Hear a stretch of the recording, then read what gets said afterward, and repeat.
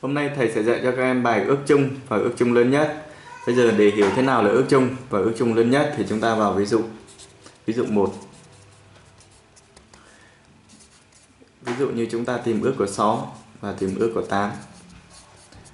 Tập hợp các ước của 6 gồm 1, 2, 3 và 6. Tập hợp các ước của 8 là 1, 2, 4 và 8 thì chúng ta thấy rằng số 1 và số 2 vừa là ước của 6 lại vừa là ước của 8 nghĩa là vừa nằm trong tập ước của 6 vừa nằm trong tập ước của 8 thì nó là ước chung của 6 và 8 thì chúng ta viết ước chung của 6 và 8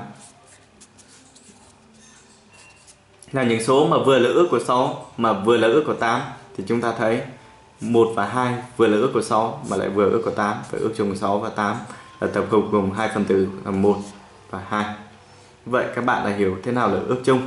Và chúng ta để ý vào trong tập ước chung này thì có số 1 và số 2 thì số 2 này là ước chung, số 1 cũng là ước chung.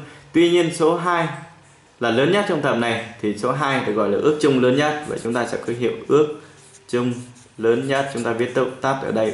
Ước là ước chung còn UCLN là ước chung lớn nhất của 6 và 8 là cái số lớn nhất trong tập ước chung này là bằng 2 như vậy các bạn đã hiểu ước chung là gì? Là tập ước chung là tất cả những, ví dụ ước chung của 6 và 8 là những số, vừa là ước của 6 mà vừa là ước của 8 thì để cách tìm ước chung thì chúng ta cứ viết tất cả các ước của 6 tất cả ước của 8 và chúng ta nhìn những số chung vào thì chúng ta viết ra.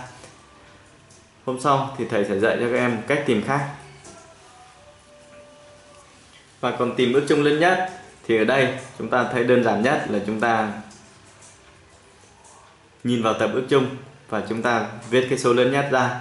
Tuy nhiên, đây là những số khá mà là bé thì chúng ta liệt kê các ước nó còn đơn giản và liệt kê ước chung cũng đơn giản.